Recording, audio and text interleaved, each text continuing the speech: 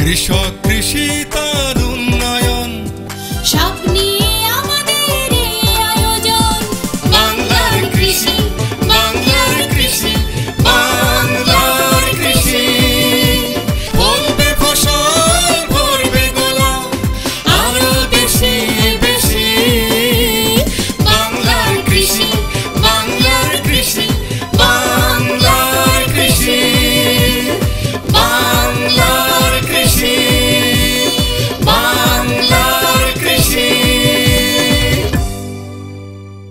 কৃষি তথ্য, প্রযুক্তি, পরামর্শ এবং মাঠ ফসলের করণীয় সম্পর্কে জানাতেই আমাদের এই বাংলা কৃষি।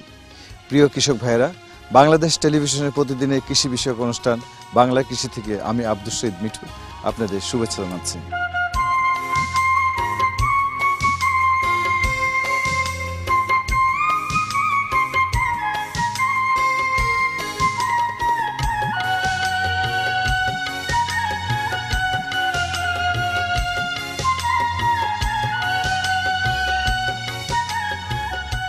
আমাদের দেশে ফলের মধ্যে উচ্চ মূল্যের ফল হিসেবে শরীফা অত্যন্ত জনপ্রিয় একটি ফল। যে ফলটি আমাদের কৃষক ভাইয়েরা চাষ করে তারা অধিক মুনাফা অর্জন করতে পারে। আমরা এসেছি পাবনা জেলার ঈশ্বরদী উপজেলার সলিমপুর গ্রামে। এখানে একজন কৃষক ভাইয়ের সাথে আমরা কথা বলব। এই বাগানটা আপনি কীভাবে শুরু করলেন? এবং আমি একসময় সবজি চাষ করেছি। বিভিন্ন রকমের ধানের চাষ করেছি অন্য অন্য চাষ করেছি। এক পর্যায়ে চিন্তা করেছি যে আমার একটা সময় বয়স যখন বেড়ে যাবে তখন আমি কি ফসল করব কি ফল করব যে ফলটা করলে যাতে আমার বাচ্চারা যারা আমার সন্তান হবে যারা আমার ছেলেমেয়েরা হবে তারা যদি আমাকে না দেখে তাহলে আমি কিসের উপর ভিত্তি করে বেঁচে থাকব? তখন চিন্তা করছি যে ফলের বাগান করব। এক সময় আমি BARC Bangladesh agriculture research council governing বডির মেম্বার ছিলাম। সেই সময় বেগম মতিয়া চৌধুরী ছিলেন ওই কমিটির সভাপতি। উনি আমাকে উদ্বুদ্ধ করতেন যে বাচ্চা তুমি দেশের এমন কিছু ফল চাষাত করো যেগুলি আমি বিলুপ্ত হয়ে যাচ্ছে সেই ফলগুলো যাতে আমি যাই দেখতে পাই যে না বাচ্চার ওখানে এটা আছে। তো আমি চিন্তা করলাম যে তাহলে খুঁজি কোনটা দাম বেশি? তবে এক সময় দেখলাম যে বাইতুল মোকারমে এই ফলটা বিক্রি হচ্ছে আটশো টাকা কেজি আজ থেকে প্রায় বিশ বছর আগে। তখন এই ফলটা আমি তিন চার কেজি কিনে নিলাম। কিনে নিয়ে আমি এটা বীজ নিয়ে চারা শুরু করলাম। তো সেই চারা থেকে আমি প্রথম শুরু করি শরীফা বাগান আজ থেকে বিশ বছর আগে। তখন এর বাণিজ্যিক বিষয়টা আমি অত খেয়াল করিনি। কিন্তু এখন এটা উপলব্ধি করি যে এটা বাংলাদেশে যতগুলি ফল আছে, তার মধ্যে এটা অত্যন্ত উৎকৃষ্ট মানের এটা একটা মানে পুষ্টি এবং সুস্বাদু এবং এর মার্কেট প্রাইস যেটা সেটা অন্য যে কোনো ফলের তুলনায় প্রায় দশ গুণ পাঁচ গুণ দুই গুণ তিন গুণ এরকম বেশি আছে। তাতে আমি মনে করি যে একটা গাছে বিশ কেজি ফল হওয়া কোনো বড় ব্যাপার নয়। তার আমরা দেখেছি যে গত বছর আমরা সর্বোচ্চ পাঁচশো টাকা বেচেছি নিচে একশো টাকা বেচেছি। তাতে এভারেজ করলে দেখা যায় প্রায় তিনশো টাকা হয়। এই গাছগুলো কিন্তু দূরত্ব খুব বেশি না বারো ফিট পরে পরে গাছ লাগানো আছে। তাতে এই বারো ফিট দূরত্বে একটা গাছ থেকে বিশ কেজি ফল পেলে এটা আমি মনে করি যে অনেক বড়। কৃষক ভাইদের জন্য এটা একটা বড় ধরনের মেসেজ যে এই ফলটা যদি কোনো চাষি ভাই করেন, আমার মনে হয় তার বেশি জমি চাষাবাদ করা লাগবে না। এই গাছটা লাগানো খুবই সহজ এবং আমি মনে করি যে অন্য যে কোনো ফলের তুলনায় এই ফলের চাষটা খুবই সহজ। কারণ যে এটা আপনার বীজের চারা থেকে হয়, কলম থেকে হয়। আমি তো আগে প্রথমে তো বীজ দিয়ে করছিলাম। তো এখন দেখতেছি যে আমার বাগানের মধ্যে কিছু কিছু উৎকৃষ্ট জাত আছে। যে জাতগুলো অন্য আরেকটা গাছের চাইতে ভালো অন্য আরেকটা গাছের চাইতে ভালো এখান থেকে আমি সিলেকশন করে করে এখান থেকে কিছু বীজ সংগ্রহ করেছি করে এইগুলো আমরা চারা করেছি। এবং এতে দেখা যাচ্ছে যে খুবই ভালো হয়। আমার এখানে তিন চারটা জাত আছে। একটা একটা বেশ দেখতে সুন্দর এবং বড় আবার একটা একটু কালো টাইপের কিন্তু দেখতে বড় এটাও ধরে ভালো। আবার আছে লাল আবার একটা ইন জেনারেল এরকম তিন চারটা জাত আছে। তো এর মধ্যে আমরা দুইটা জাত সিলেকশন করে ফেলেছি একটা লাল আর একটা সাদা। এবং সেইটা আমরা এই বছরে কলম শুরু করেছি। এবং এখান থেকে আমরা মাঠে রোপণ করলে যদি কলম থেকে করি তাহলে দুই বছরের মধ্যেই সে বাণিজ্য শুরু করে দিতে পারবে। আর যদি সে চারা থেকে করে তাহলে সর্বোচ্চ পাঁচ বছর লাগবে। পাঁচ বছরের মধ্যে তার বাণিজ্য শুরু হয়ে যাবে। এটা হলো লাগানোর মানে চারার দিক থেকে।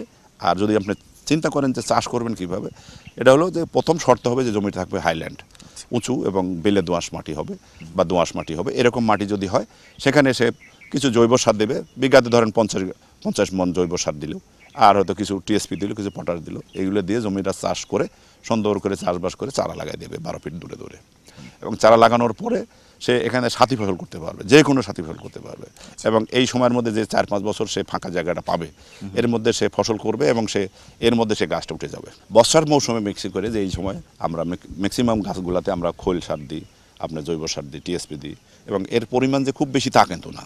যেমন একটা গাছে যদি আমি এক ডালা পরিমাণ যদি আপনার ছাই এবং গোবর মিশাই দিই হ্যাঁ সেখানে একশো দুশো গ্রাম টিএসপি একশো পঞ্চাশ গ্রাম হলো পটাশ পঞ্চাশ গ্রাম ইউরিয়া দিলে দেখা যায় যে এই সিজনে সে হেলদি অবস্থায় চলতে থাকবে। আর ফলটা যখন আমার গাছের যখন ধারণ ক্ষমতা হয়ে যায় পর্যায়ে যায় তখন কিন্তু আমরা মাঝে মাঝে কিছু ডিএপি সার দিই। এই জন্যই দিয়ে গাছের স্বাস্থ্যটা ভালো থাকে এবং ফলটা খুব দ্রুত বাড়তে থাকে। আমার শরীফা ফসল একবার এই বাগান দেখবে আমার মনে হয় তার যদি উঁচু জমি থাকে সে অবশ্যই শরীফা চাষ করবে। এবং শরীফা চাষ করে আমি যেমন লাভবান হয়েছি আমার দেশের কৃষক ভাই অবশ্যই লাভবান হবে। আমাদের পুষ্টির বিষয়টা যদি চিন্তা করি এটা হলো রক্ত বৃদ্ধিকারক একটা ফল। এবং এই ফলটা খাইলে যাদের রক্ত স্বল্পতা আছে তার রক্ত স্বল্পতা কমে যাবে। তো তাহলে এটা তো একটা বড় ধরনের একটা মেডিসিনও বটে। কাজেই আমি মনে করি যে এই শরীফা যে একটু শরীরের দিক থেকে তার দুর্বল আছে কাটে। হ্যাঁ, আরেকটা বিষয় বললেন যে রোগ বালাইয়ের যে ব্যাপারটা তো মিলিবাগের কথা বলছিলেন। ওইটা কি কোনো ফলে পাওয়া যাচ্ছে? এই যে আমাদের দু একটা নমুনা আপনি পাবেন আমরা ম্যাক্সিমাম মেরে ফেলছি তারপর দু একটা ভুলে থেকে যায়। এই দেখেন এটা হলো মিলিবাগ আচ্ছা। এইটা কিন্তু আপনার এই যে আমরা যে এখন এই অবস্থায় এরকম কাটি দিয়ে দিয়ে এ যদি বেশি শক্ত জিনিস দেওয়া তাহলে কিন্তু ক্ষত হয়।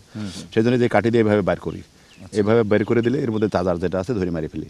কাস্টমার যখন এটা দেখে সে মনে করে যে এটা কি জিনিস কিনবো না। তো এই জন্য এই মিলিবাগ আমাকে যে কোনো মূল্যেই বের করে দিতে হয়।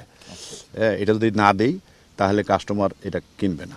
এটা একমাত্র রোগ হচ্ছে হ্যাঁ এই ফলের অন্য কোনো? তেমন রোগ নাই। তো আরেকটা রোগ আছে সেই রোগটা হলো ফল পচা। আপনি এখানেই দেখেন। দেখ ওই যে সামনে পিছনে ওই গাছটা দেখছেন? এই যে- পুরো ডালটা খেয়াল করছেন ওইটা কিন্তু পচা। এই- এই ফল এভাবে পচে যায়। আচ্ছা। এটা হলো রোগের কারণে হয় আর ওটা হলো পোকার কারণে হয়। আচ্ছা এই যে পচা হলে আপনারা কি করেন এই ব্যাপারটা? এটা এটা আমরা অনেক সময় যেরকম কেটে ফেলে দিই আর এর জন্য আমরা রোগনাশক যেটা ফাঙ্গিসাইড যেটা সেটা স্প্রে করি। প্রিভেন্টিভ হিসেবে কি প্রিভেন্টিভ হিসেবে এই কাটি ফেলতে হয় এছাড়া বুদ্ধি নেই। এই ফলটা যখন পেকে যায় এটা মার্কেটিং কীভাবে করেন? কোথায় করেন? এই মার্কেটিংটা একটু কষ্টকর। আমাদের প্রথম অবস্থায় যখন আমরা করেছিলাম তখন এর মার্কেটিংটা বুঝতে পারছিলাম না। এখন আমরা এর টেকনোলজি বের করে ফেলেছি এবং আমরা শিখে ফেলেছি। এই ফলটা যখন ভিতরের ওই ইয়েগুলো সাদা সাদা অংশ চলে আসে বাড়ায় আসে ফুটে আসে যে সাদা হয় তখন সে ফাটতে শুরু করে। তো এই ফাটে গেলেই সে কিন্তু মার্কেটে যেতে পারে না। সে অলরেডি লুজ হয়ে যায়। এটা ফাটার আগে আমরা এটা হারভেস্ট করি। আচ্ছা। এটা হারভেস্ট করে এটা আপনার হলো আমাদের যে ক্রেটগুলো এখন বাড়াইছে বিশ কেজি মতো আটে এর মধ্যে আমরা কাগজ দিয়ে দিই আস্তে আস্তে এর মধ্যে ঢুকাই। আচ্ছা। কারণ আজকে যদি আমরা ঢাকায় পাঠাই কালকে সকালে বাজার পেয়ে যাই। সকালবেলার বাজারে ইনশাল্লাহ খুব সুন্দর দু একটা কাঁচাও থাকে কিছু কিছু পেকেও যায়। এটা আবার যখন এর কাছে দোকানদারের কাছে যায় তারা আবার একদিন রাখতে পারে তারা পরের দিন ভোক্তার কাছে বিক্রি করে ফেলতে পারে।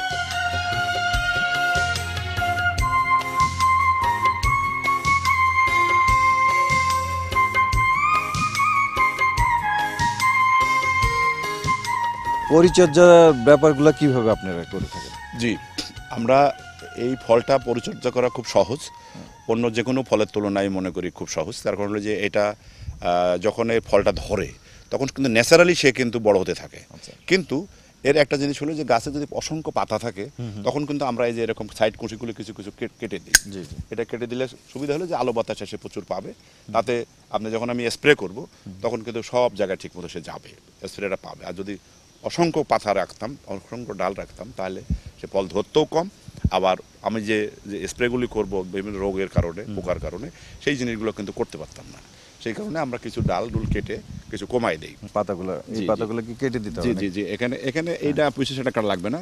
কিন্তু কাটবো হলো যেখানে ঘন আছে। আচ্ছা। যেখানে ঘন আছে সেখানে কাটবো। তাহলে আপনার হলো যে ফলের গায়ে একটু আলো বাতাস লাগবে। আবার এখান থেকে কিন্তু নতুন করে কিন্তু ফুলও আসবে। একটা বিষয় আমরা লক্ষ্য করলাম যে অনেকগুলো ফল অনেক বড় হয়ে গেছে আবার ছোট গুটি। তো এটা বিভিন্ন সময় একই গাছে হ্যাঁ, এটা একটা জাতের জাতের বৈশিষ্ট্য আর কি যে আমাদের এখানে আমাদের দেশি ভ্যারাইটি যেটা আছে সেটা কিন্তু এই ধরনের ঘটনাটা কম কম ঘটে।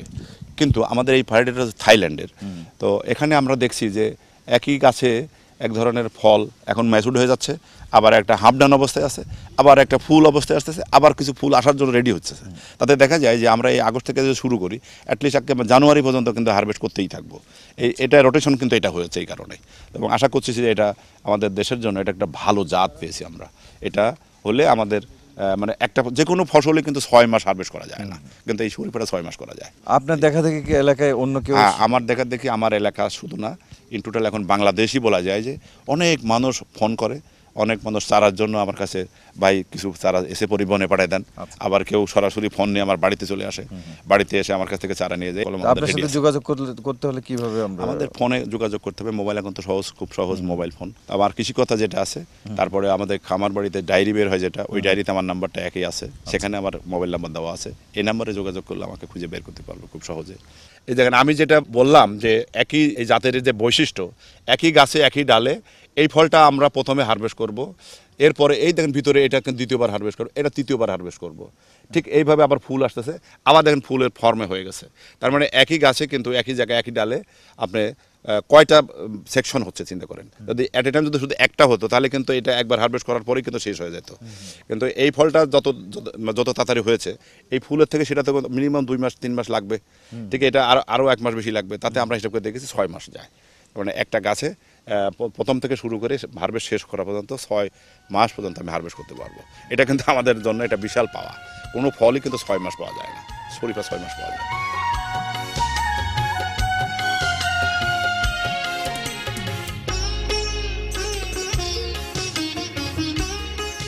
আমাদের কৃষক ভাইয়েরা যদি বাণিজ্যিকভাবে এটা চাষ করতে চায় জি জি। তাহলে তাদের উদ্দেশ্যে আপনি কীভাবে তাদের পরামর্শ দিতে আমার পরামর্শ হলো যে আমাদের দেশে যারা ফল চাষ করেন শুধু ফল চাষ না কৃষি কাজ করেন তাদের জন্য আমার মেসেজটা হলো এরকম যে আমার কোন ফসলটা করলে আমি আমার লাভটা বেশি পাবো?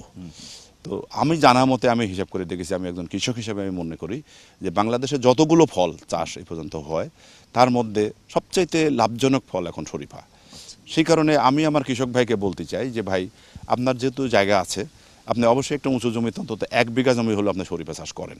তাতে আপনি দেখতে পাবেন যে এক বিঘা জমি আমে কত টাকা পান লিচুতে কত টাকা পান বা আপনার যে কোনো ফল হ্যাঁ তাতে বছরের যদি হিসাব করে যা দেখে যে সে কোনটাতে বেশি পায়। আমি মনে করি যে সবচাইতে বেশি পয়সা পাবে সে শরীফায় সেই জন্য আমি আমার কৃষক ভাইকে বলতে চাই যে আপনারা অবশ্যই আপনার উঁচু জায়গা দেখে সেখানে এক বিঘা জমি হলেও আপনি শরীফা চাষ করেন।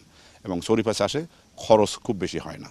কারণ এক বিঘা জমিতে আপনার সব মিলে আপনার একশো দশটা চারা লাগানো যাবে।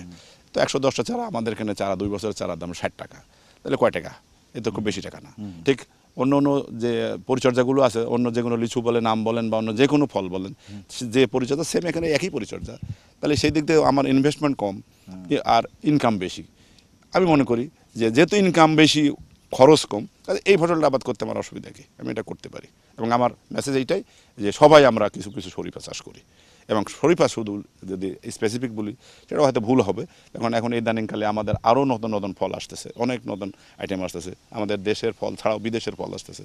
সেগুলো আমরা করব ইনশাল্লাহ তাতে একদিকে হবে আমার নিজের আর্থসামাজিক উন্নয়ন আর একদিকে হলো রাষ্ট্রীয় একটা বিষয় থাকবে যেটা হলো যে আমাদের দেশে যে পুষ্টির যে- পুষ্টির যে বিষয় আছে জনস্বাস্থ্যের যে বিষয় আছে সেটাও পূরণ হবে। সব মিলে আমরা আশা করি যে দেশের একটা বিশাল উপকারী করবে।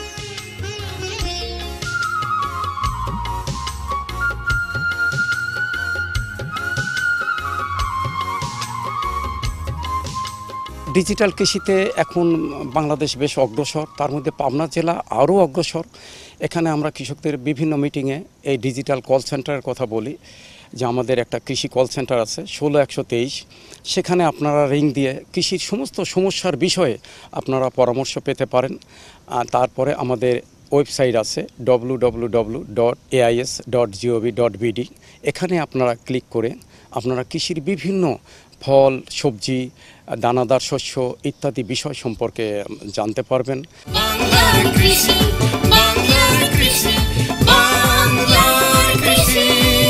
কৃষক ভাইয়েরা অনুষ্ঠান সম্পর্কে আপনাদের যে কোনো মতামত আমাদেরকে লিখতে পারেন।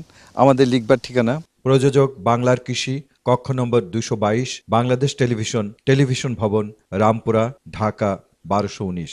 আমাদের ইমেল নাম্বার বাংলার কৃষি one three one four at the rate Gmail dot com আমাদের ফেসবুক আইডি বাংলার কৃষি। আপনারা ইচ্ছে করলে আমাদের অনুষ্ঠানটি ইউটিউবে দেখতে পারেন। কৃষক ভাইরা আজ এই পর্যন্তই। আপনারা সবাই ভালো থাকুন সুস্থ থাকুন। এই কামনে শেষ করছি। আজকের বাংলার কৃষি। আল্লাহ হাফেজ। কৃষক কৃষি তার উন্নয়ন